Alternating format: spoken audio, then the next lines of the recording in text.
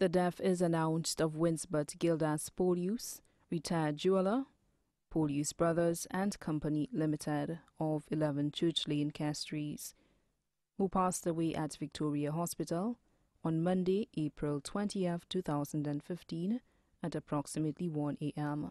He was 76 years old. Left to mourn his wife, Monica Polius. Children, Heather Polius, Prince and Mario all of the USA. Sister Merle Paul of French Guiana. Brothers Ellis, Francis, and Roland Polius of the USA. Daughters-in-law Tara and Janaki Polius of the USA. Sisters-in-law Norma Masler Chase of Barbados. Vivian Polius of the USA. He also left to mourn his numerous nieces and nephews in St. Lucia, French Guiana, and the USA. Also his many godchildren.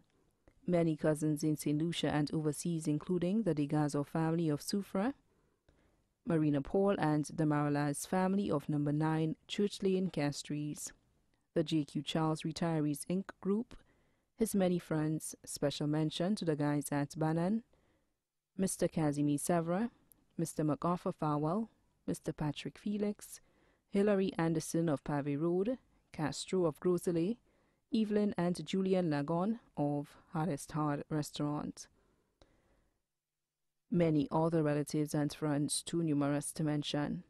The funeral service for the late Winsbert Gildas Polius will take place on Monday, 11th May 2015 at the Basilica of the Immaculate Conception at 2.45 p.m then to the Choc Cemetery for burial. The body now lies at Crick's funeral home with Bouteille Castries. May his soul rest in perfect peace.